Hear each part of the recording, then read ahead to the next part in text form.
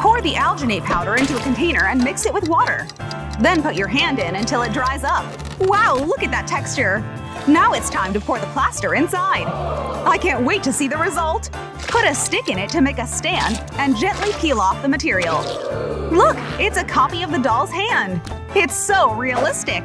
Looks like it's going to be used as a display. Hmm, what else can I use? Hey, I was drinking that. Oh, wow, she turned it into a lamp. There's a string of lights inside and some beads and cotton to make it look pretty. Now some stars sprinkled around. How do we turn it on? It worked! What a beautiful lamp! Baby Huggy's nursery is finally complete. I think his parents really did an amazing job. We, can't, wait, to meet, Baby, Huggy.